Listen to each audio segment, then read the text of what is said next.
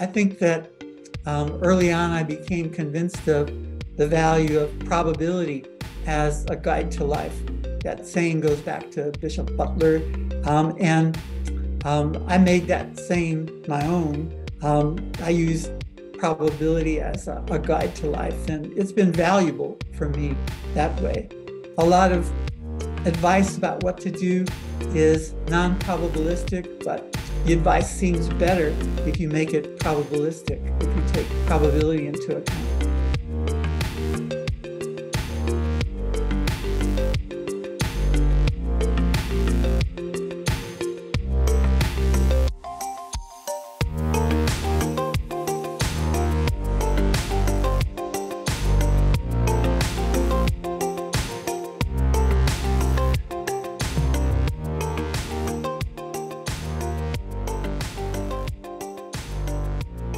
Everyone, to today's interview, where I'm very, very pleased to welcome Professor Paul Weirich. He is Curator's Distinguished Professor in the Philosophy Department at the University of Missouri, and his work has focused primarily on decision theory, uh, game theory, rationality, uh, and logic. His books include, among others, Decision Space, Multidimensional Utility Analysis, uh, Realistic Decision Theory, Collective Rationality, Equilibrium and Cooperative Games, uh, rational, rational responses to risk, uh, and rational choice using imprecise probabilities and utilities. Um, he also has a variety of published articles. Feel free to uh, to add anything. But that, with that, welcome and thanks so much for being here, Professor Weirich. Well, thanks so much for having me. I'm delighted to have a chance to talk about philosophy. Awesome, yeah, and um, I especially like some of the some of the work that you um, well some of the subjects that you work on because I have uh, um, my own interest in like decision theory and and uh, agency and some of the surrounding issues there. So I did want to. There's a few things I want to cover. I think I want to start on some of you've worked on like collective agency and rationality, um, and like group rationality. And so I was I was thinking, um, like when I think about it anyway, when I think of like agency and rationality, I'm normally talking about things or subjects acting based on their beliefs and desires, usually with some like deliberation involved. Um, and I don't like normally think about groups as like having those things, but they're kind of similar in some ways. You know, um, they exhibit some of the same features, and so we can sort of talk about them in a similar way as um, as agents and accessible for rationality. Um, I don't know, is that kind of roughly how you would think about it, but how would you think about, broadly speaking, group yes. rationality? So I think that groups can perform acts. Um, a committee can pass a resolution, for instance. Um, now, I, I, think that, like you, um, committees, groups, they don't have minds and so don't literally have beliefs and desires and don't literally make decisions or form intentions. But despite that, I think they do act. And because they act, their acts can be evaluated for rationality. So not only do they act, but they act freely. Um, committees, when they pass a resolution, um, do that without coercion. They freely perform an act. And if it's an act that's free, then I think it's a valuable for rationality. Standards of rationality apply. And I'm interested in figuring out which standards apply to collective acts. I don't think they're the same standards as applied to the acts of individuals. So it makes a difference that the acts of individuals are ones that the individual has direct control over whereas a group acts only through the acts of its members. It doesn't um, have, as an agent, have direct control over the acts it performs. So instead of evaluating um, a group's act for maximization of utility, as you might for an individual, I think you'd evaluate a group's act by looking at the acts of the members that comprise the group's act. So I advance a sufficient condition for a group's act's rationality if the acts of individuals that constitute the group's acts are all rational, then I say that suffices for the rationality of the group's act. Yeah, yeah, that that's interesting. Yeah, and you talk about how um, it's like the compositionality of of individual rationality to like group rationality is one way to put it. Maybe if if each of them act rationally, and they act like together and in this sort of joint way, um, then it that's a sufficient condition for them acting for the group being rational. Uh, if that makes sense. Right. So some people think that the standards of collective rationality are higher, um, that it's not sufficient for the acts constituting the collective act to all be rational. Um, but you know, I think that that compositional evaluation of the collective act is the right approach. So, for instance, some think that in order for a collective act to be rational, it has to be Pareto optimal in the sense that there's no alternative that's better for every member of the group. But I think that standard of rationality for a collective act is too demanding. Um, I think of collective rationality as the extension of the ordinary notion of rationality from individuals to groups. Now, the ordinary notion of rationality, um, it attributes blame to irrational agents and so takes into account the agent's circumstances, the agent's um, abilities, and what situation the agent is in. Now, um, often a group is not in an ideal situation for achieving Pareto optimality. Um, the members not be, might not be able to communicate with each other. For instance, they might not be able to coordinate. Um, if they were able to coordinate and communicate and to enter into binding agreements, then the standards of rationality for the group's acts would rise. But in many cases, communications blocked, coordinations blocked. And so I think the standards for collective rationality in those circumstances are less demanding. And all that's demanded is that the individuals act rationally when they're contributing to a collective act. Yeah, yeah, very good. And uh, there's a few things I want to touch on here. One is um, I think you say something like, and this maybe follows from what you've already said, is that um, if the group if the group acts irrationally, then at least some of the members do. Right? It can't be. I mean, it's kind of the reverse. Yeah. Right. All, but like, um, the reverse doesn't necessarily hold, or at least you don't commit to that, right? The fact that some of them act irrationally doesn't entail that the group act irrationally. Like maybe one person doesn't. Right. Sometimes a group member's irrational act is inconsequential and so doesn't make a collective act that it's part of irrational. So it could be that when a committee is voting to pass a resolution, um, some member irrationally votes against the resolution. Um, nonetheless, the resolution passes and it's the right resolution for the committee to pass. And so the collective act is rational despite some irrational vote of a committee member. It just happens that that particular vote is inconsequential. Right. Is there, that makes sense to me, but is there like a, um, some boundary, like, or you know what I mean? Like, um, suppose like half of the people act irrationally.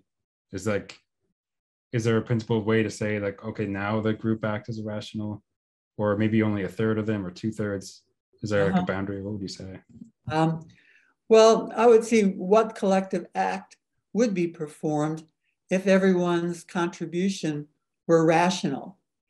And then if the group achieves that act without the rationality of all members, then their collective act is rational. So I think what matters is whether what they do is the same as what they would have done had all acted rationally. Ah, okay. Um, so maybe, you know, if um, 50% don't act rationally, then in a particular case, the collective act won't be the one that they would have realized had all acted rationally. Um, right. So it will depend on the circumstances whether, you know, it takes um, 50% or or some higher percentage, or maybe even some lower percentage. What percentage it takes would depend on the group's circumstances. Right. I'm just thinking like, is it is it like possible then that everyone acts irrationally in the group, but all the same collectively they do the same thing they would have done if they'd all acted rationally? If that makes sense. Um, so you know that might happen if um, um, by accident their irrational hmm. acts achieve the collective act that they would have performed if all had acted rationally. Then you might say the act itself receives a positive evaluation, but the way in which the agents achieve the act is defective. And so if you apply procedural standards there, they're not acting collectively in a rational way, even though the result is rational, the same as they would have achieved if they all had acted rationally. So there are different ways of evaluating collective acts. And one way just um, you know assesses the act itself and puts aside procedures that led to the realization of the act. But sometimes when we evaluate a group and its acts, we think about the procedures that the group followed. And even if by chance they happen to produce a, a good act, we might say that their procedures were bad. They acted in an irrational way, although the result was an act that gets a positive evaluation. Yeah, okay, that that definitely makes sense to me. I guess maybe there's even some other cases where um like in principle maybe one person acts rationally and outweighs the other actions of the group together and even though the rest of them were irrational in the way that they were acting this one person was able to counteract that with their rational action um, producing the result that like would have obtained had everyone acted rationally if that makes sense maybe mm-hmm. maybe that fits the mold or what do you think? Yeah. So, I mean, um, it may take just one person in a group to put in a call for help, and that one person's act um, produces the help that the group needs. And the result is the same as if all members of the group had acted in a rational way. So, in some special cases, it may be enough for one member of a group acting on behalf of the group to produce a good result. Okay, yeah, that that's uh, that seems sensible enough. I think. Um, so I, I wanted to bring up um, some potential dilemmas that might be raised, and I, I think I know how you might respond. But a, few months ago, I talked with Professor Larry Temkin about his uh, well then upcoming book. Uh, it's now released called uh, being good in a world of need. And one thing he considers is the following sort of case. Um, suppose that we determine, like, of all the charities that there are that we might give to, there's one that um, for us and like and for each individual, giving to that charity does the most good. Like the most we can do with our number of dollars that we might give is to give to that charity. However, if everyone does that, like acts rationally, giving to that single best charity, then you know that charity will give a lot of money and perhaps do a lot of good, but um, the result isn't optimal because um, all the other charities and all the other good causes will get like nothing. and it, it may be the case that for the group, the best outcome would be that the contributions would be spread around somewhat maybe um, a lot would go to this really good charity, but some would go to others as well.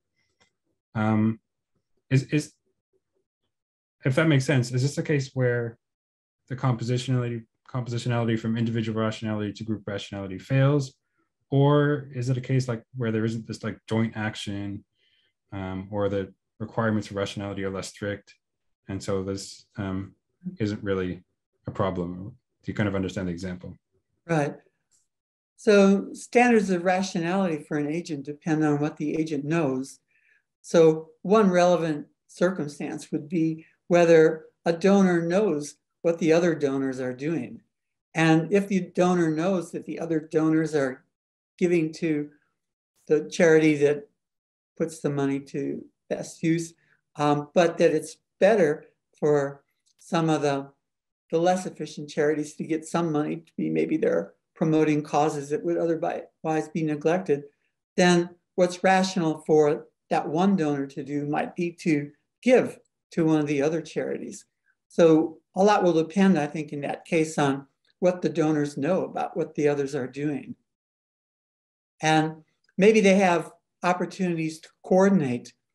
The potential donors could meet and at a meeting, they could decide how to distribute their donations to make sure they go to charities in a way that's best overall. And there isn't just a single charity that receives all their donations.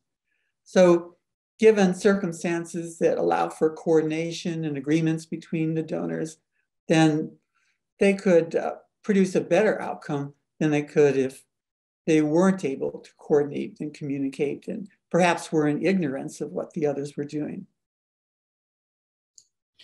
Yeah, yeah, that that um, I think the like coordination and and um, like planning at the outset is is like makes a big difference there. That seems right. And like, I do see some potential issues though. Like, if you think, okay, perhaps you think that other people are going to contribute to the, um, to the optimal charity. Well, optimal being like, whoa, whatever the most effective charity is. And so, you know, you think, um, if I contribute to some other good charity, but not that one, um, we might approach the better distribution of uh, charitable contributions. But I don't know, maybe other people will think the same way. then you get to this problem like, well, everyone's starting to give to other charities. And then um, mm-hmm. I don't know, you could still run into issues you get with a, when there's no communication there. Yeah.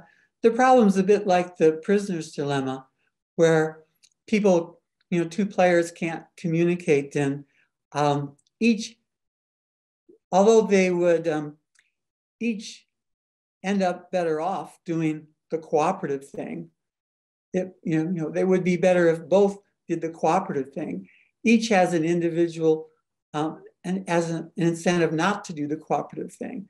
And so if they're acting rationally and each doesn't do the cooperative thing, then they're worse off than if had both had done the cooperative thing. Now, in the prisoner's dilemma, the players don't have a chance to coordinate and communicate and enter binding agreements. So their circumstances aren't ideal for joint action. And for that reason, I think they have an excuse if they fail to achieve what's the best collective act they could have achieved. Yeah. They don't, yeah, we, they don't achieve Pareto optimality. They don't achieve the collective act that's best, but they've got an excuse. They weren't in good circumstances for pulling that off. Right.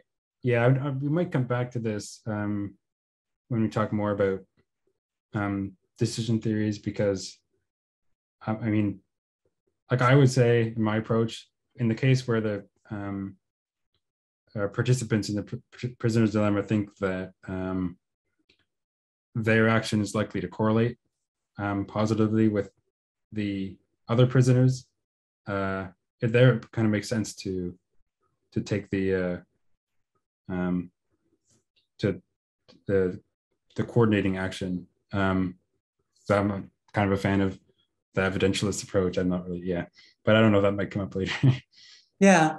So, as you might know, I'm leaning toward causal decision theory rather than evidentialist decision theory.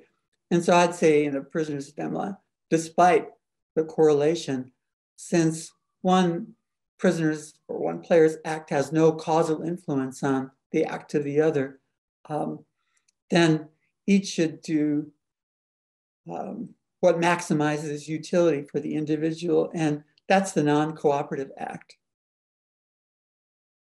So maximizes um, expected utility in the sense of causal decision theory. Right, right. But um, so, you know, the dominant act. Yeah. Although, um, yeah, this isn't really essential to um, thinking generally about like collective rationality and agency or really a lot of the stuff. But uh, anyway, um, it's related, I guess. Um, maybe that will come back up. There was something else I wanted to talk about in terms of um, sequential problems, but um, actually, I might come. I think I'll come back to that in talking about um, decision theory more generally.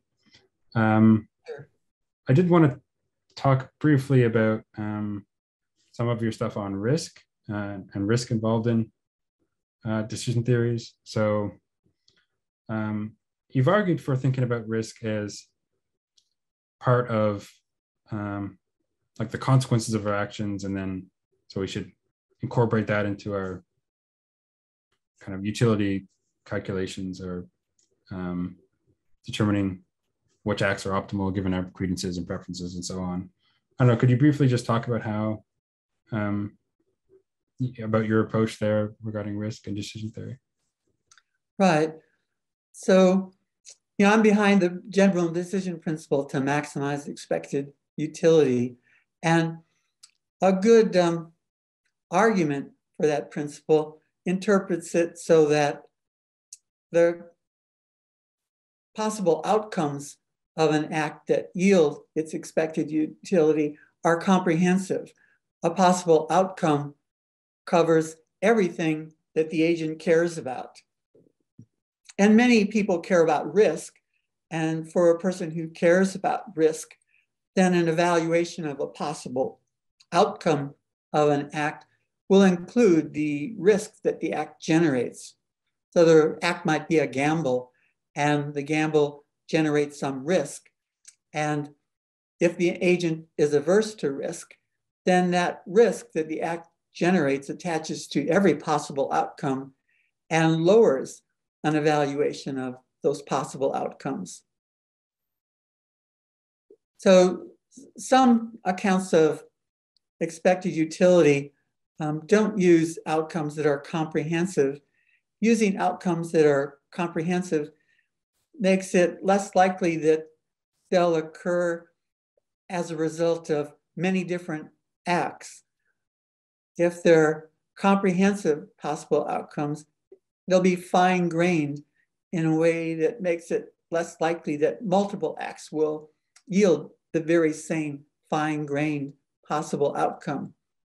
And if you want to measure um, an agent's probabilities and utilities, it's easier to do that if there are acts that have the same consequences. So you can try to get a handle on an evaluation of a, a possible outcome. And then once you have that, use it to help you get an evaluation of uh, other acts that have the same possible outcome. But um, fine grained or comprehensive outcomes are not very likely to be repeated by uh, as possible outcomes of many acts. So there's a, a measurement problem that comes up if acts are taken non are taken comprehensively. And I think that leads some proponents of expected utility to take them non-comprehensively.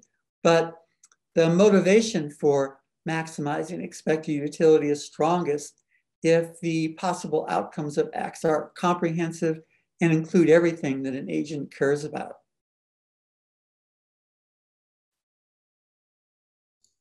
Um, right. So how does and and how are we thinking about risk in this in these cases? exactly? Um, well, there, are, I think, multiple conceptions of risk in the literature.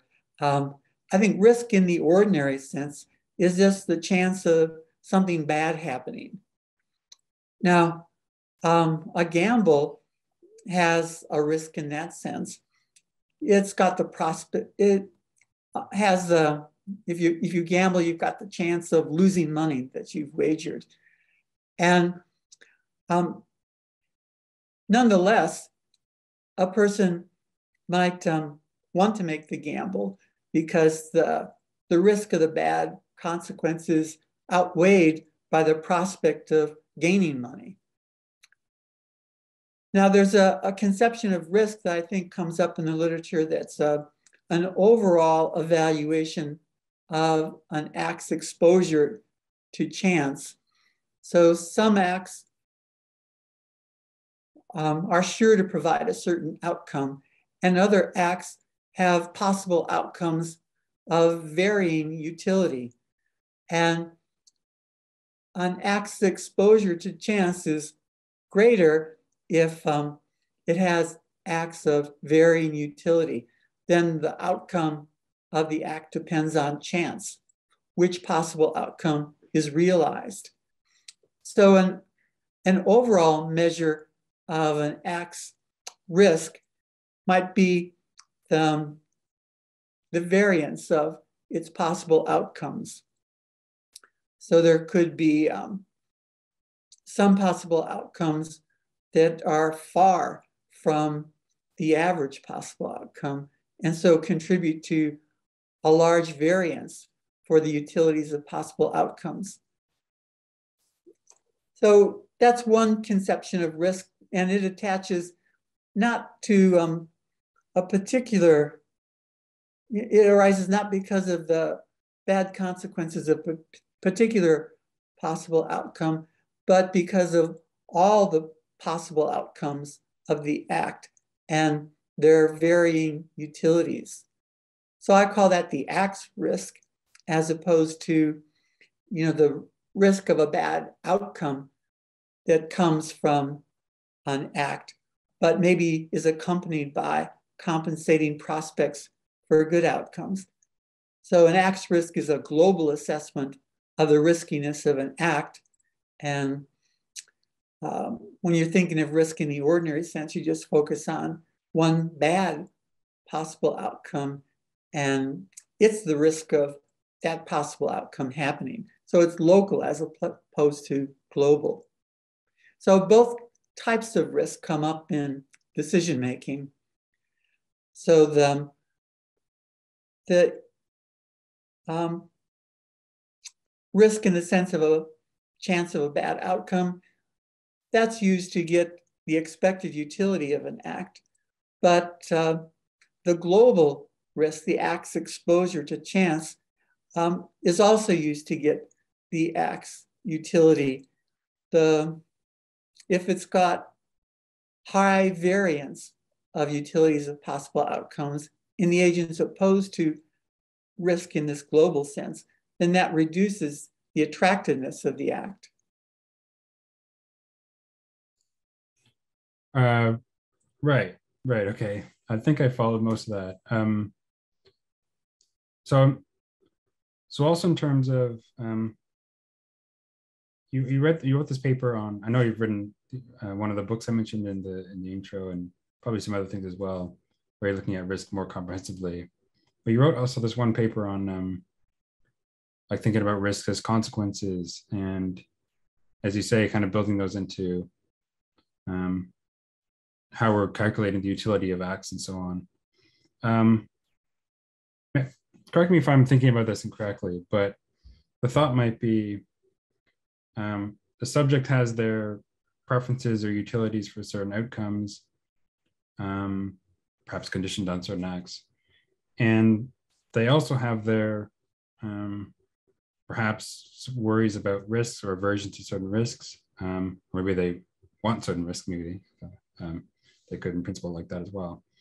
Um, and you're saying you want to, are you saying something like that you want to incorporate both of those features into our utility calculation or um, is that getting on the right track, or how do you think about that?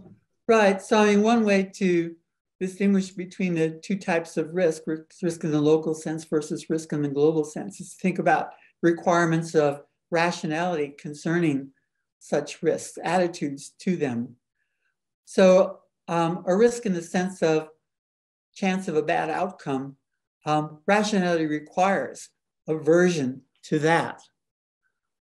But um, the same requirement for aversion to risk in that sense doesn't carry over simply to aversion to risk in the sense of an acts risk in the global sense. A, a person um,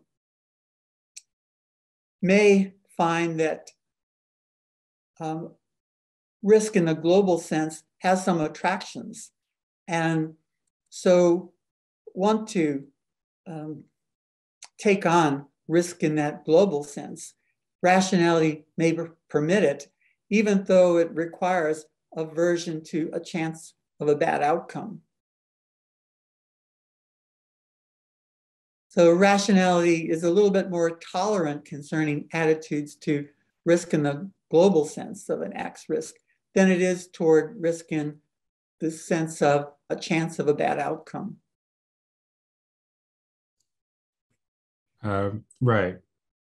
So when financial planners talk to their clients about investments, they want to find out about their attitude to risk and which investments make sense for the client will depend on how averse the agent is to risk. But um, rationality, you know, although rationality accommodates that difference among individuals concerning risks in the global sense, it, you know, rules out decisively um, attraction to risk in the sense of a chance of a bad outcome. Um, it rules out an intrinsic attraction to a risk of that sort. Okay, yeah, I think I think that makes sense. I was thinking about um, also, um, could it not be, or is it not that um, the role that risk plays for an agent in their preferences is already kind of built in, it's already kind of built into their preferences over certain outcomes.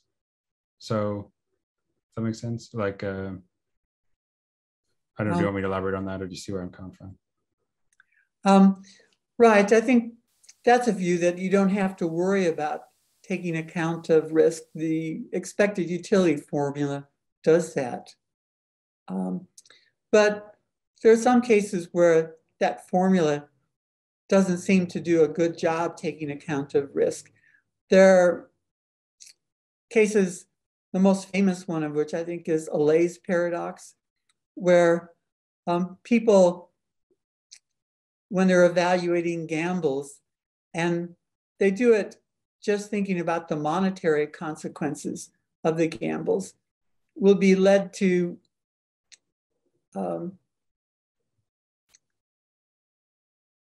they'll be led to um, preferences among gambles that seem inconsistent with the principle to maximize expected utility. So one example of this type that comes up in Kahneman and Tversky, that's not the same as the Allais's paradox, is um, a choice between a sure thing, $3,000, and a gamble that provides an 80% chance, four fifths chance of $4,000. So some people would prefer the sure thing rather than the chance for the greater amount. And then you might ask them also to compare uh, one fourth chance of $3,000 with a one fifth chance of $4,000. And when they make that comparison, they might be attracted to the bigger amount. Um, but if expected utility took into account just monetary outcomes, their preferences would be inconsistent. There, there would be no utility assignment to amounts of money such that both preferences maximize expected utility. So one reaction is that, well, the monetary outcomes are not comprehensive. They don't include the risk that the gambles generate and that the sure 3000 does not generate. And because the consequences are richer than possible monetary gains, um, when you take comprehensive outcomes into account, then you can reconcile the two preferences. It's an, an aversion to risk that yields the preference for the 3,000 as opposed to the four-fifths chance for the 4,000. So I think if, um, you know, it, if you just rely on the expected utility principle to handle risk, it doesn't seem to do an adequate job in all cases, not in cases like Allais's paradox. Okay, yeah, I mean, I guess it depends on what we're um, like inputting into the expected utility calculus, right? So if you want to take the, um, you're just modeling the preferences as like varying linearly with mon monetary value.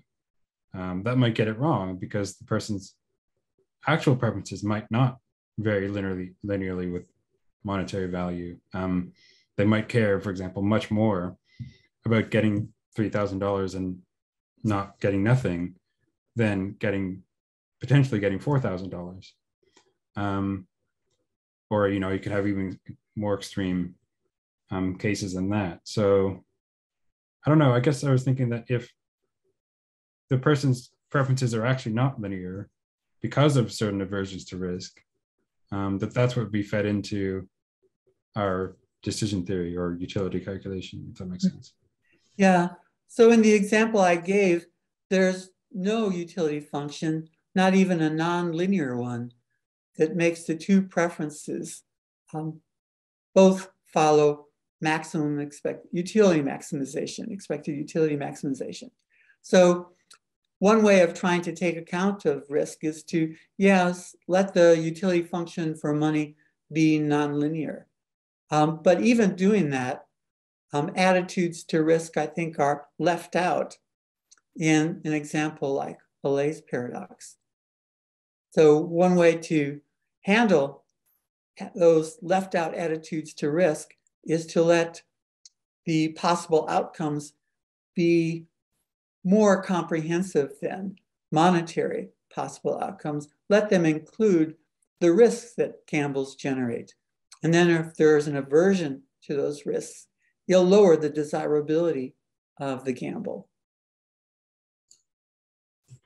Yeah, okay, that that seems reasonable enough, I suppose. Um, I mean, in principle, there could be other features involved in the act or the outcome that the subject might care about um, beyond just like monetary value. Um, and so, yeah, if you're going to go about utility maximizing, you want to incorporate those. Um, and one and some of those might be just the risk involved. You might just care not to have risk involved. That's the sort of thing mm-hmm. that you might want to think about. Right. So, an objection to the approach I'm advocating that often comes up is that if you allow possible outcomes to be comprehensive, then it looks as though expected utility maximization imposes no constraints on decision makers. And the idea is that if possible outcomes are very fine grained, um, then you can always cook up an explanation for any preferences you observe so that according to the cooked up explanation, those preferences are maximizing expected utility. So, you know, if a person has a choice between uh, $5 and $10, um, you might say, and if the person takes the $5, the person is nonetheless maximizing utility because the person likes the look of the $5 bill better than the look of the $10 bill.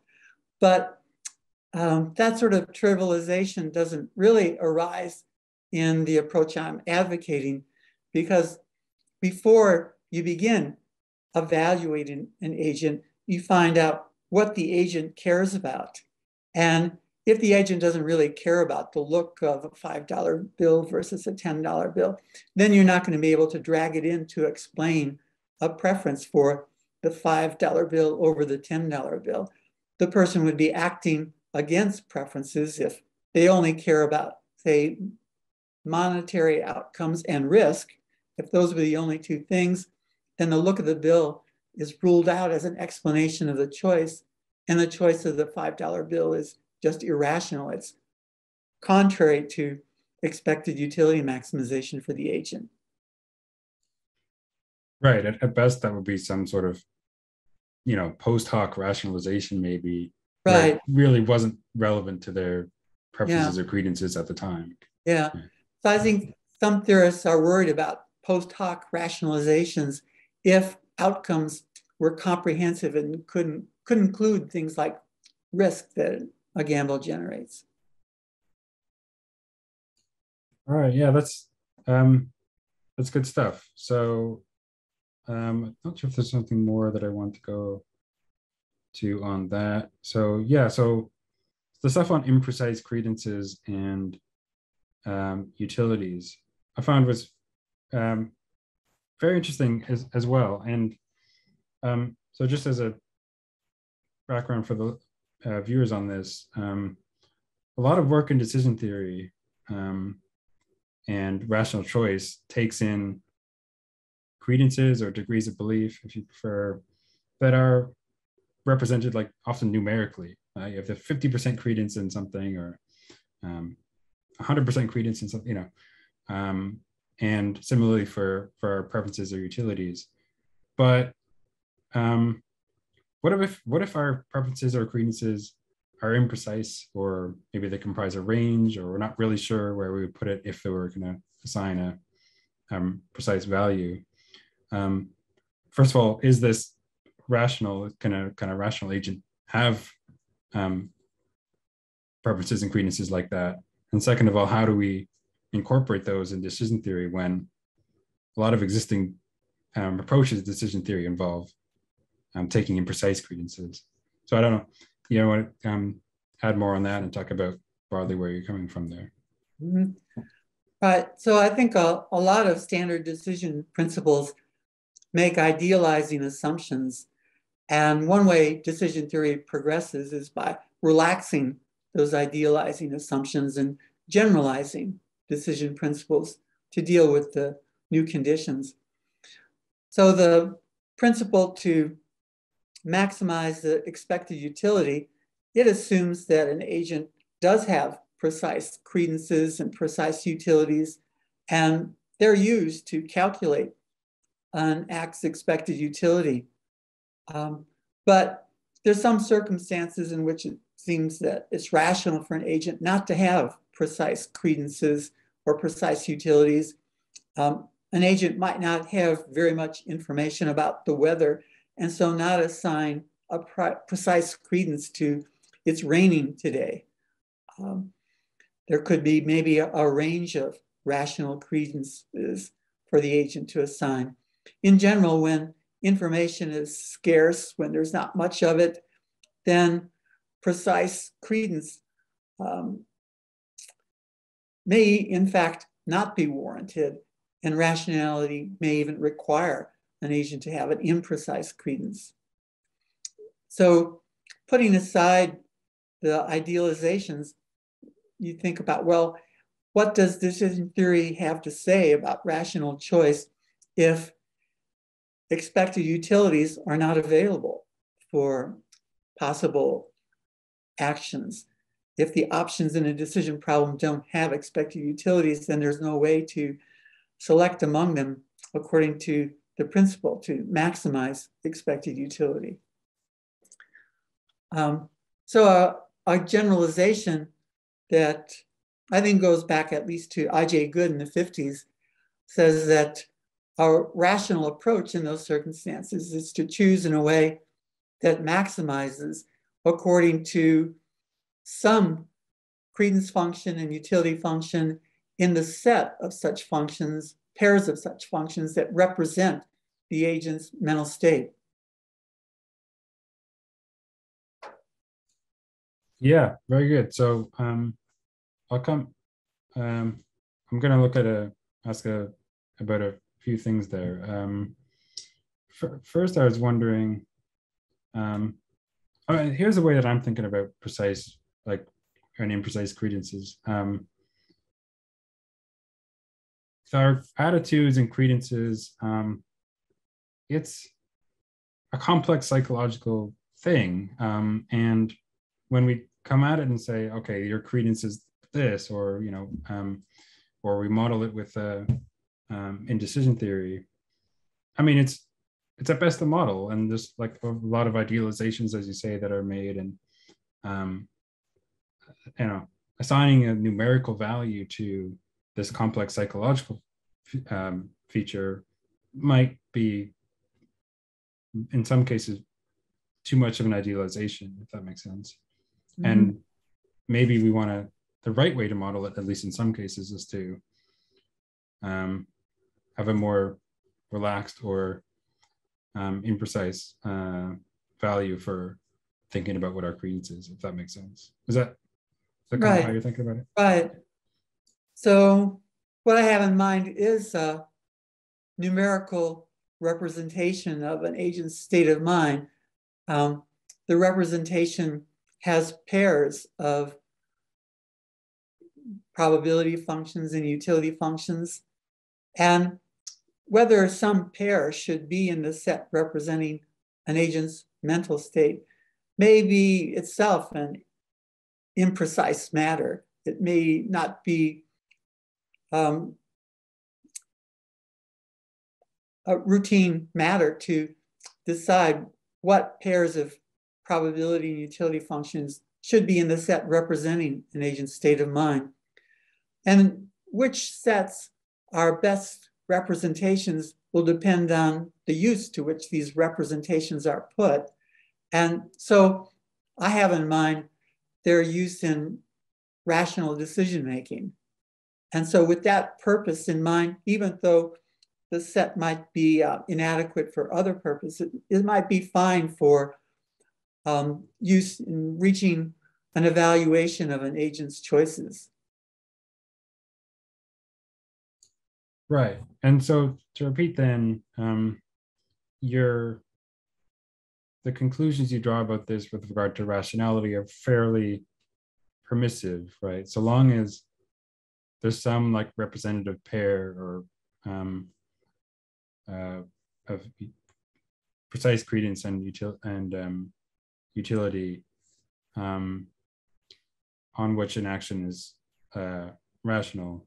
That action is rational, if that makes sense. Um, you right. put that quite quite right. Yeah.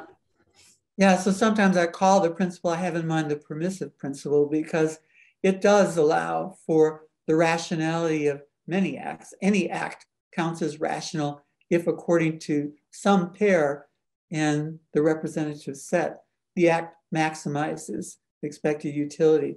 That's a fairly permissive standard.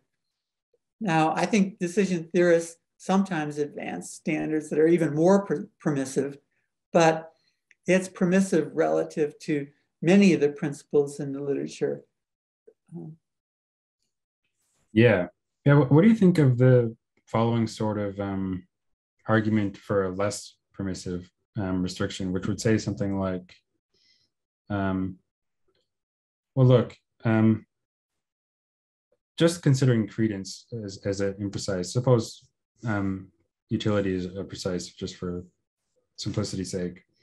Um, on the range of the credences that you have, okay, um, the ones kind of at the extremes are like um,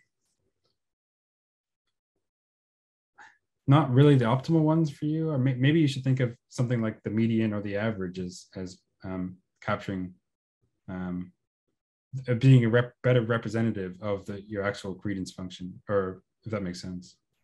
Um, um, right so you might think that the median is um, the right probability function to use for rational choice. It's kind of compromise between the extremes and, and all the, the probability functions that are in that representative set.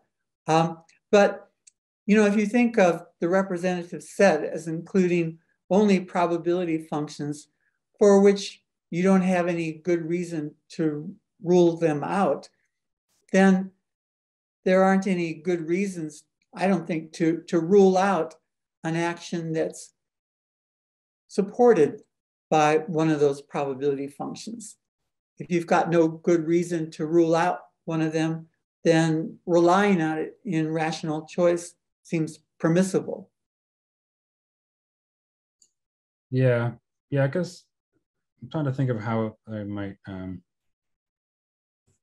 that's how someone might try to motivate this. Um, this sort of objection, like maybe, like maybe some sort of um, indifference principle might make the like if so if you think suppose your credence was roughly between 0.4 and 0.6 in some mm-hmm. proposition um well like unless you have some other reason to prefer another sort of distribution maybe you should be kind of like um have uniform credence about what um the actual precise credence should be or something like that.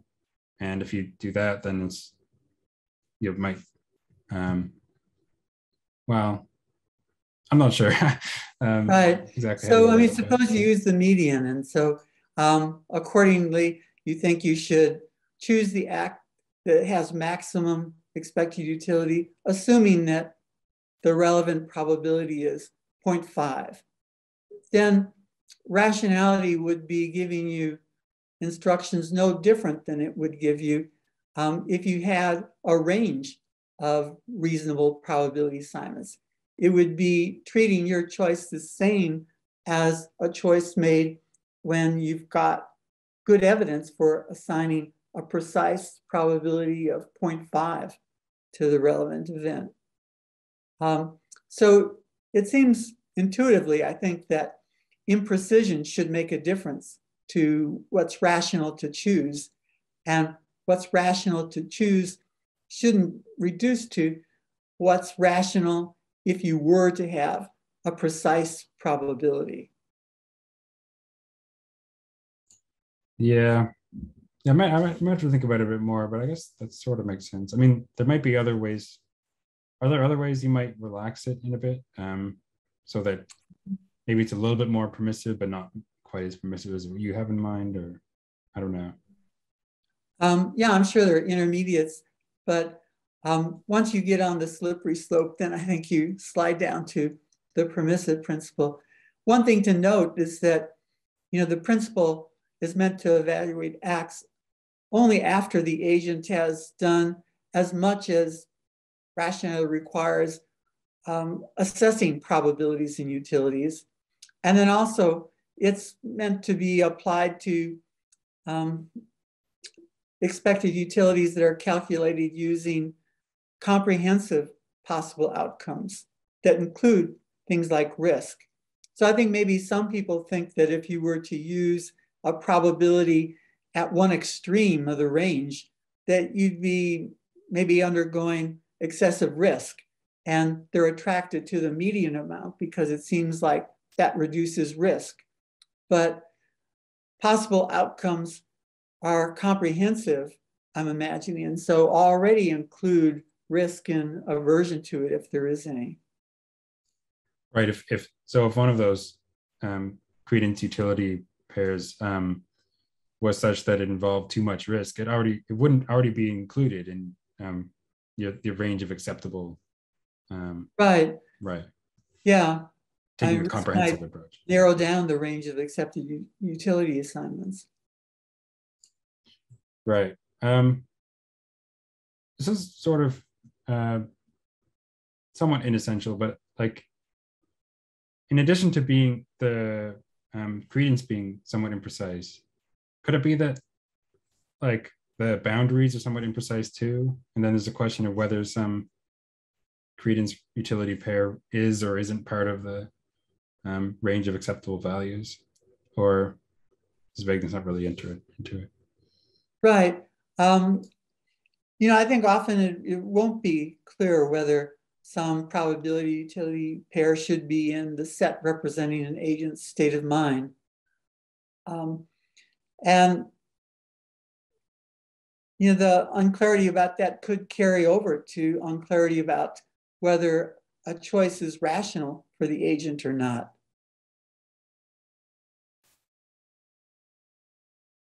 Okay, but, yeah, yeah. So the, main claim is that, you know, given uh, an acceptable representation of an agent's state of mind for the purposes of making decision, some choices utility maximizing according to a probability utility function pair in the set, then it's rational. So there are assumptions that the principle uses. And you know, for starters, you've got an acceptable representation of the agent's state of mind, acceptable at least for the purposes of evaluating choices. And there could be, you know, as I mentioned, some vagueness about what's acceptable and then some corresponding vagueness about which choices are rational for an agent. Right. Okay. That yeah, that seems like the right outcome, right? If the um if for certain states or um um this like unclear whether how to whether they're covered under our credences in a certain way, then it's like it's going to be unclear whether um, there's a normative requirement to act in a certain way upon them. And it's, it's sort of like if you're feeding into your decision theory or decision rule something that's like too too imprecise to really give a recommendation for, then you know you're not going to get a recommendation out. Um, mm-hmm. But that's maybe the one way to put it. Yeah. So you know, I think the way I would put it is that it would be unclear whether the principle um, condones some act or not.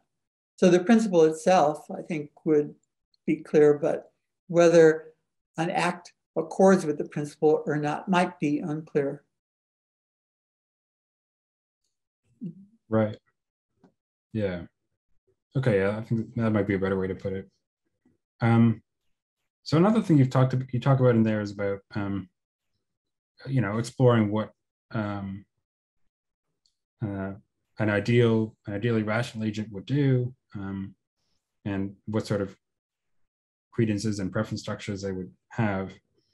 And one thing you talk about is how complying, or you argue for, is that complying with uh, the probability axioms, like Kolmogorov probability axioms, is uh, intrinsically good from an epistemic perspective, like satisfying additivity and other stuff like that.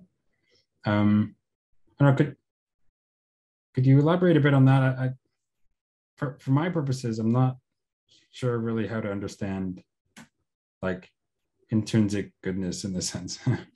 um, uh, so, yeah, one project that people working with decisions and probability take on is um, arguing for the laws of probability, and in particular, the axioms of probability, since they entail the other laws. And there are different ways people have tried to argue for them. Um, probably the best known is the Dutch book argument.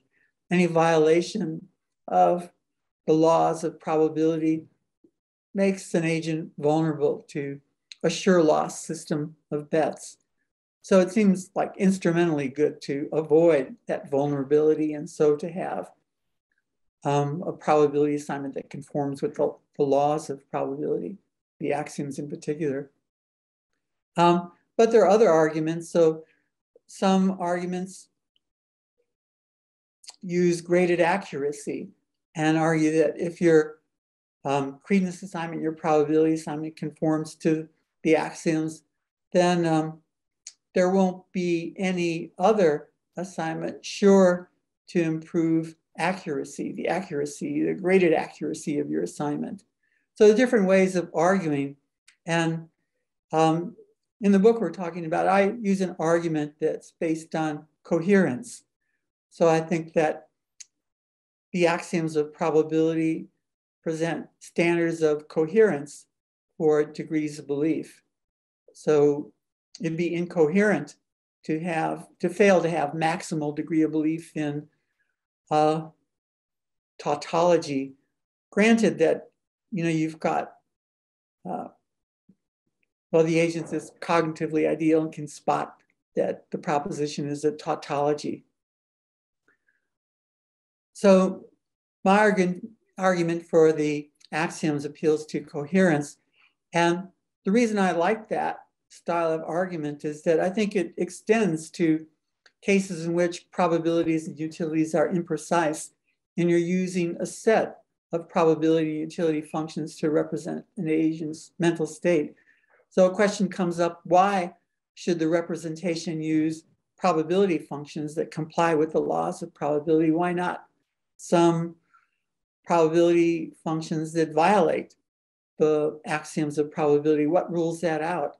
And I think the co coherence requirements for precise credences carry over to the case of imprecise credence.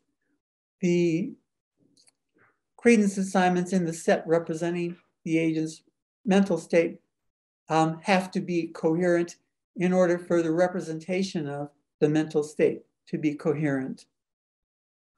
So I'm, that's for the reason I appeal to coherence in arguing for the probability axioms. It's the kind of argument that extends straightforwardly to probability assignments in a set used to represent uh, an agent's state of mind when no single probability assignment is a good representation.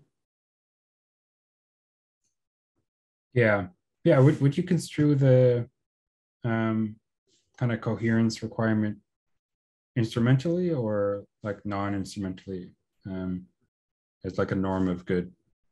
Um, yeah, I think it's a, a non-instrumental norm of rationality. It's a um, requirement for rational degrees of belief. Now, you know, you could imagine cases where it would be instrumentally good to violate those norms, but um, someone might be handsomely rewarded for violating the norms that apply to credences, and so instrumentally good to violate them. But they're um, they're non-instrumental norms of rationality for degrees of belief. So I think that in the literature, there are proponents of this view. Um, Ramsey, under one interpretation, takes the probability axioms to be norms of coherence, and he uses the Dutch book argument just to dramatize the bad results of incoherent degrees of belief. And Brian Skyrms is another probabilist who argues for compliance with the axioms of probability by taking them to be norms of coherence. And, and Brad Armendt is another one. So it's not as though this approach to the axioms is novel with me, it's in the literature. Um, this way of arguing for compliance with the axioms is a supplement to the other ways of arguing that appeal to graded accuracy or pragmatic reasons like those that come up in Dutch book arguments. Yeah, I guess I guess for me the way I might think of it is that we might like stipulate that um like when we like use the word rationality or rational um there are certain requirements that something must satisfy to count as rational or um, other than that, there are the things that are like instrumental to our various aims, um, and acting in accordance with those is instrumentally rational. I'm not sure I understand um, when we say, well, it's like intrinsically valuable, like at least epistemically, beyond either of those two um, facts that we might have in mind. Um, did maybe do you see where I'm coming from, or what do you think about that? Uh-huh. So, I questions come up about the the value of being rational, and my claim isn't that it's valuable to an agent to comply with the norms of rationality. the norms of rationality are applied to evaluate what the agent is doing. Maybe what the agent's doing is irrational, um, but not for instrumental reasons, not because it doesn't promote what the agent values. So the, the norms of rationality are, I think, independent of what the agent values. So in decision making, sometimes in dealing with cases like Newcomb's problem, um, theorists have argued that the problem is set up so that rationality is penalized. So it could be that in Newcomb's problem, the rational choice is not instrumentally best. If an agent could get him or herself to act contrary to principles of rationality in that case, there's a reward for doing that. It's instrumentally good to depart from the norms of rationality, to violate them. So the claim I'm making is not that it's always promoting the values of an agent to comply with norms of rationality. The norms are used to evaluate the agent belief, desires, acts um, in a way that doesn't require the agent to value being rational and to value complying with those norms. So often it's instrumentally good to be rational, but there are certain special circumstances in which it may not be instrumentally good to comply with principles of rationality. Okay, yeah, that's that's a, a very interesting way to put it. Like, um, I think I remember in, in that in that uh, book, I think it was, if I remember correctly, it was footnote like forty six. You bring up um, some of the uh, an issue related to what you just said, which is that wait a minute, it might look like in Newcomb's case and maybe some others, um, like irrationality is rewarded in some way.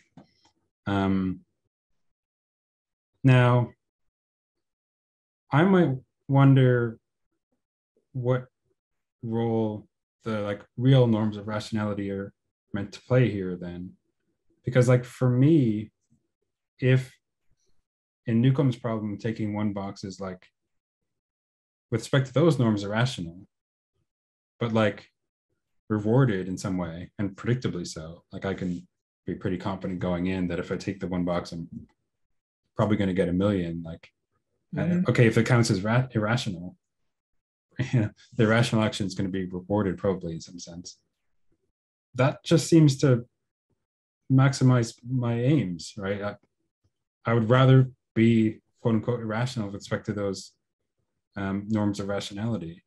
Right. So, yeah yeah so i think it's compatible with someone who claims that two boxing is the rational choice in newcomb's problem to also claim that if you have a chance to make yourself irrational before entering the problem by, say, taking some pill that makes you a one boxer, you should take the pill that, you know, irrationality is rewarded. And if you can make yourself choose irrationally, you should do that. That's the way to advance your goals. Um, so I think those two things are compatible. Um, the rational choice is two boxing, but if you have a way to make yourself a one boxer, doing that is the rational choice.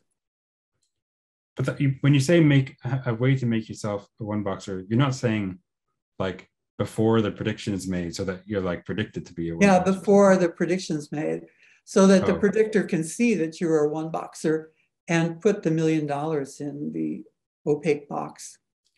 Okay, but then you you wouldn't say that this like someone could rationally do this or or might have pragmatic reason to do this after the prediction's already been made.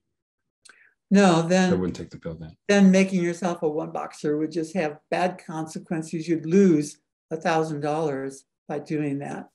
Um, but you know, if you can before the prediction is made, turn yourself into a one boxer, then you should. That's the way to the million right. dollars, which is something you want. Right. Okay. So, so that case has something to do with like the rationality of perhaps plans or um, sequential problems or something like that. I guess it's not really a plan in the sense that you know in the case you're just taking a pill and that's might be rational for you to do so. And then as a result of that later you do something which um, were you to evaluate that according to the norms of rationality you wouldn't do it. But all the same it was like made sense for you in the first case to set yourself up so that you would do something like that if that makes sense. Right. That's how you do yeah. Mm-hmm. yeah um i don't know. I i don't know if i want to touch on newcomb's problem because um specifically because like in my view when you have the um you say that you would miss out on the the thousand dollars if you take only the one box um to me that that requires assessing the counterfactuals a certain way um, that I wouldn't assent to.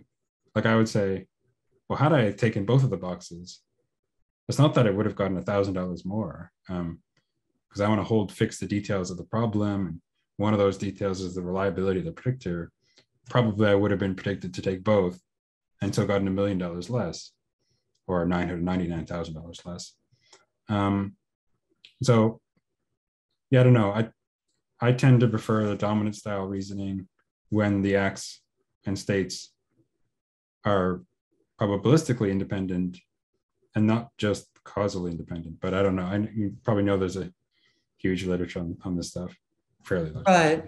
Yeah. So as I mentioned earlier, um, I'm a causal decision theorist, and so use the principle of dominance when the option chosen doesn't have any causal effect on the state that determines the outcome of the act. Yeah. Yeah. In, in principle, someone could say, as I might be inclined to, um, that's one way to apply dominance when the, the acts and states are causally independent. Um, but another way is to apply it when they're like evidentially or probabilistically independent. And like, how are we deciding which um, if you're committed to like causal decision theory or something which entails it, then you'll go with the causal dominance. But um, I, am I'm, I'm not. So like I, I don't know. There's further discussion to be had there, I guess. Yeah, I mean it's a big topic. There's a um, long-standing debate between evidentialists and causal decision theorists, and probably you know, I, I can't say anything to resolve that debate now, but I lean toward causal decision theory because it seems that to me that um, you should pick an option because it will promote your goals and not because it produces a sign of goal promotion. You know, you should pick an act that's causally efficacious to um, your attainment of your goals. Yeah. Yeah. I mean, the, the way, one way I think about it is that I care about like having the money, not necessarily that my having the money is like a causal consequence of my action. Um, and if it turns out that acting in a certain way is correlated with having the money, um, that, you know, would be enough for me, um, all else equal to, to act in that way like I, I tend to think that in Newcomb's case, for example, um, I can know ahead of time, or at least be pretty confident ahead of time, given the my knowledge about the problem that I'm facing, that if I choose one box, probably I'll get um, a million dollars or close to a million dollars on average. Right. And if I choose two boxes, I'll probably get a thousand dollars or close to a thousand dollars on average. And like predictably so. That's like something I can predict ahead of time. Mm-hmm. And I mm-hmm. just want to choose the action that like predictably does better. It seems almost incoherent given my aims of rationality mm-hmm. um, or how I'm construing rationality that the opt- uh, rational action would be one which does predictably worse. That's how that's how I would think about it. Right. Yeah. So I imagine that you're picking the one box and you're predicting that the result will be a million dollars. But also, you know that if you were to take both boxes, you'd have an additional thousand. And so, why would it be rational to pass up the additional thousand? Yeah, well, for, for me, like um, assessing that depends on how we're going to assess the relevant counterfactuals. Like if I were to take both, and um, I know people talk about, oh, are the counterfactuals backtracking or are they um, whatever? Yeah. Um, I, I tend to think about them in a way that is because I want to hold in assessing the counterfactuals that I think are kind of relevant to deliberation and how I would consider rational choice. There's some that are I want to hold fixed the details of the problem, the things I like know are fixed in a way. Um, so the fact that I'm um, in this sort of situation, some prediction was made. I don't, I know not which. Um, some amount of money's in the box. I know not how much. Um, and the predictor is pretty reliable. Um, and you know, I'm varying the choice that I make and asking, given the details of the problem, and that my choice had been the other way, what's like likely to occur? Mm-hmm. Um, and the way I would evaluate that is, yeah, the choice was the prediction was probably the other way. Right. But, so, you know, I agree with you that how to analyze the conditionals that guide reasoning, that's important. And I think the, the conditionals that I think guide reasoning are the conditionals expressed in the subjunctive mood. So I think about what I would get if I were to do something. So in assessing what I would get if I were to do something, I take into account my evidence of how things are now. And I use my evidence about that to figure out what would happen if I were to do something different, maybe something different from what I'm going to do. I know I'm going to pick the one box and I, that gives me good information about the prediction and the contents of the opaque box. And then knowing those circumstances, I think, well, what would happen if I were to take both? And the answer seems to be I'm up a thousand dollars. And that's a benefit that to me, I irrationally forego if I pick just the one box. So I do use you know, information about the circumstances, but um, that's in order to get to assessment of acts, including acts that I know I won't perform. I might know I'm, I'm not going to take two boxes, but still I can see from what I do know that if I were, I'd gain a thousand. Yeah, you could still ask, like, what if I did, you know, even if I'm not going to. Like, right. I, so I know that if I were if I were to take both boxes, that wouldn't change the prediction, that wouldn't change the contents of the opaque box. Um, what would change if I were to take both is my information. If I were to take both, then I would know I'm taking both. And using that information, I would have, you know, different view about what prediction had been made and what the content of the opaque boxes. Yeah, yeah. I don't want to.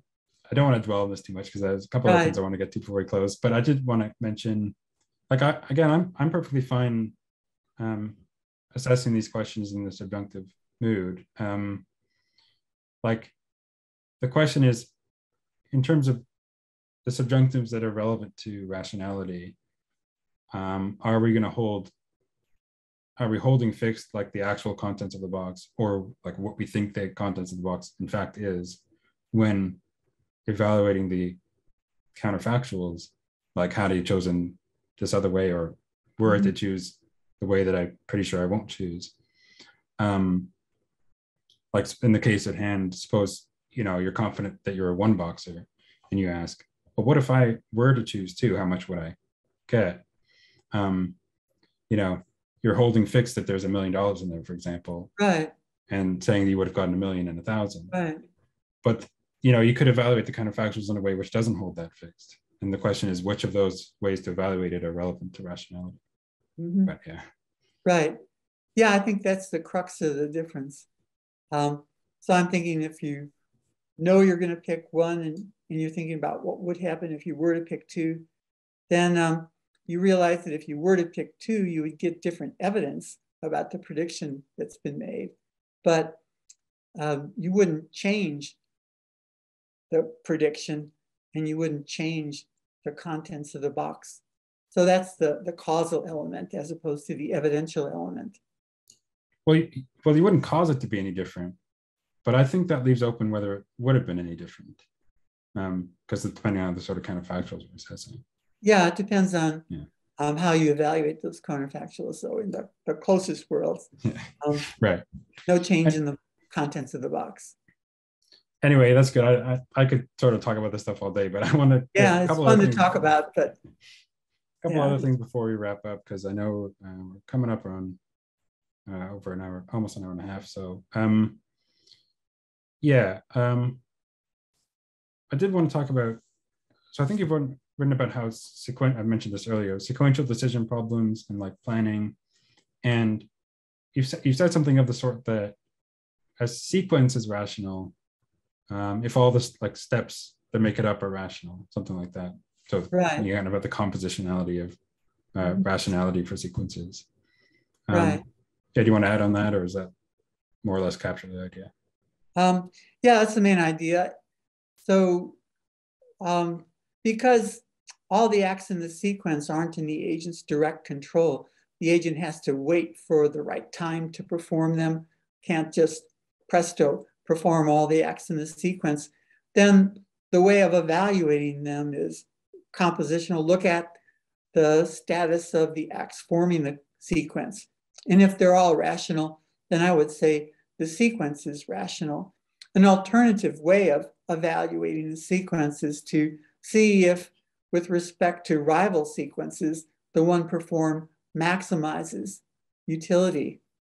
Now, I think the standard of utility maximization is the right one for acts that are in an agent's direct control, but for acts that are not in an agent's direct control, like a sequence, then the compositional standard is appropriate.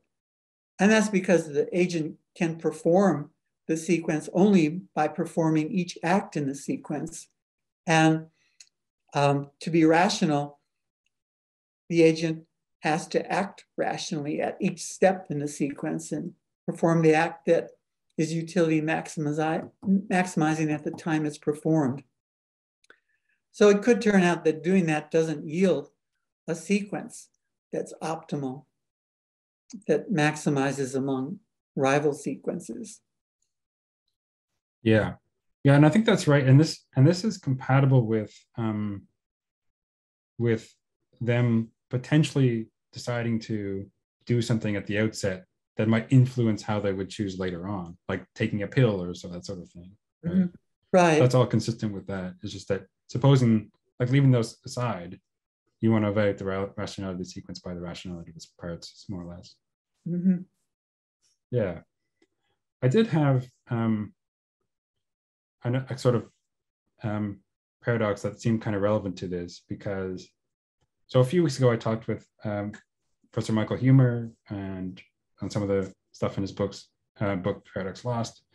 And one of the paradoxes that he covers is the, obviously this is also in the literature as well, um, the self-torturer paradox, um, which goes like this. Uh, you have someone that's given a choice um, a thousand times in a row. This is, it, it, they're going to make a thousand choices. It's a big sequence. And each choice um, is between, uh, if, if they accept the $10,000, they get a slight but imperceptible increase in uh, pain. Uh, so they can't tell the difference between the pain if they accept it that just for that once. Um, and so well, it's an imperceptible difference in pain. So they'll want to accept the $10,000 in, in um, uh, in payment for for accepting that pain. However, um, they can also be pretty confident that if they accept the offer for all on a, all a thousand occasions, they're going to be receiving a level of constant pain that's just far too much for them to bear, um, worth more than the $10 million, whatever, that they would get if they were to do it. But okay, there's something kind of paradoxical about this, if, if, I've expressed this right, which is that it seems that it was rational on each occasion to take the offer, but that he ended up and predictably ended up in a, a situation which was um, very undesirable. Mm-hmm. Um, what, what, did I explain that right, or what, what do you think about yeah. that? So, yeah, I think the context for the problem matters. So, suppose that the agent, the self torturer, um, has an opportunity to bind himself to stopping after a certain amount of money comes in and before getting to the unbearable pain for which he'd pay any amount to be free of. Um, so if the agent can bind himself to stopping at some point where he's got a reasonable amount of money, then yes, he should bind himself to stop. So sometimes it's um, rational for an agent to impose limits on him or herself. Um, you know, a person might um, go into a bar and decide, well, one drink and that's it. And imposing a limit like that can be beneficial. The agent might know that without binding, then one drink leads to another, and before that, too long, um, there's not going to be any work done tomorrow. So I think um, binding is is very useful, and rational agents do that. They bind themselves to certain courses of action to prevent themselves to getting into a mess. Yeah. Okay. Um, I like the idea of binding, but if some, if the person doesn't bind them, uh, bind themselves, um, and they were to go through this with the, would we have to say, in that case, that like sequence was rational, um, even though yeah. they end up in that? Yeah. So you know, it depends on what type of evaluation we're looking for. So I distinguish between comprehensive rationality and conditional rationality. And um, an act is comprehensively rational if the agent's, um, if that act is rational for the agent, considering that the agent's made full use of opportunities to put him or herself in a good position to make a, a choice. So for comprehensive rationality, an agent has to have rational degrees of belief or rational utility assignments and has to have made use of prior opportunities to control the decision situation they're in.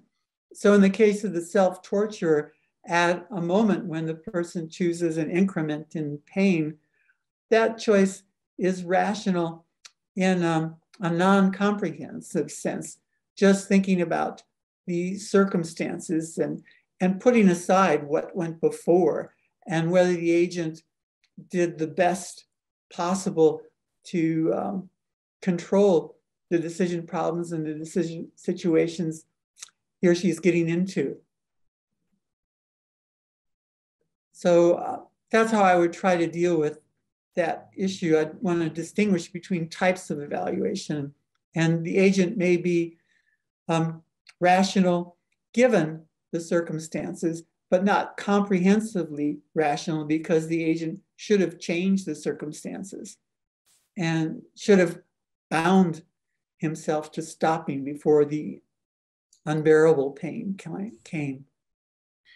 Yeah. Okay. So that's that makes sense. It's actually kind of similar to what um, Huemer had to say about it, which is that um, you should kind of like if you were to rationally reflect on um, the situation you know you're going to face, like um, you should try to estimate what the, given your pain tolerance and monetary preferences, what the best trade-off for you would be between amount of money and amount of pain. And it might be somewhat vague, but the point is, it's going to be somewhere not at the extremes, and um, you should kind of try to bind yourself to stopping around that point. Um, mm-hmm. Right, and that could potentially could potentially update that if you've on experiencing some of the pain because that might give you a better idea of what the actual amounts of pain there are and so on. But Right. Yeah. So I go along with that approach to the problem. Right.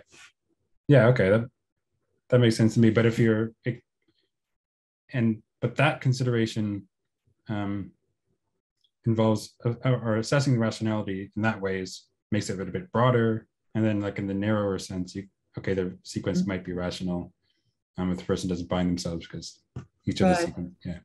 Yeah, there are different sorts of assessments for rationality. Some of them are conditional, and there are different ways of making assessments of rationality conditional. Um, one way that interests me is taking something for granted. So a person's beliefs may be irrational, but you might say, okay, let's take them for granted and then think about what's rational um, doing that.